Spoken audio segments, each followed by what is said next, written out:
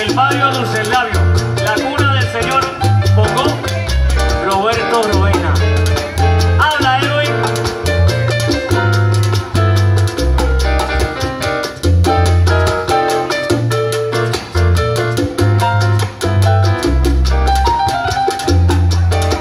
Ahí nomás. El saludito para los exalumnos de la clase que están por